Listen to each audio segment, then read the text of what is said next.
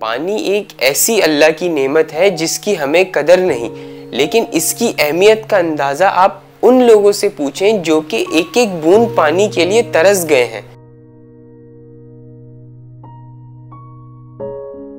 हम रोज़ाना अपनी रोज़मर्रा की ज़िंदगी में बेहद पानी ज़ाया कर रहे होते हैं और हमें इस बात का एहसास भी नहीं होता। बलूचिस्तान में कुछ ऐसे भी बच्चे हैं जो कि स्कूल बैग उठा के सुबह स्कूल नहीं जाते, बल्कि बाल्टियाँ और मटके उठा के पानी हासिल करने की जुस्तजू पे निकल जाते हैं। ये बच्चे रोज़ाना 15 से 20 किलोमीटर पैदल सफ़र करते हैं भारी पानी के मटके उठा के जिससे इन्हें किसी भी बीमारी का खतरा हो सकता है। इन बच्चों का वाहिद मकसद सुबह उठकर अपने घर पर साफ़ पानी पहुंचाना है। इस चीज़ को बालाए ताक रख के कि इस वक्त गर्मी का दर्जा हरारत 50 डिग्री सेंटीग्रेड है, पथरीले पहाड़ हैं और बंजर ज़मीन है।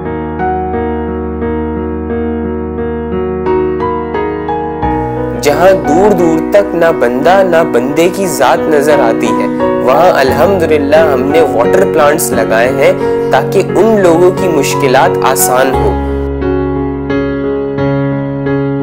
इस वक्त हमाद फाउंडेशन के पूरे पाकिस्तान में 15 वाटर प्लांट्स मौजूद हैं, जहाँ से रोज़ाना 7000 लोग साफ़ और मीठे पानी की नेमत से मुस्तफीज होते हैं।